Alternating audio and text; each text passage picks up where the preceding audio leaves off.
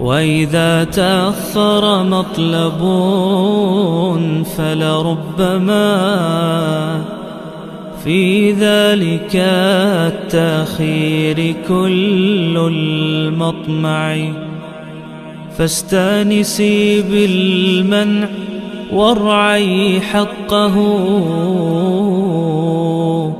إن الرضا وصف المنيب الألمع. وإذا بدا من ناطق الوجدان ما يدعوك للياس الذميم الأشنع. فاستيقظي من نومة الغفلات وليكن الرجاء.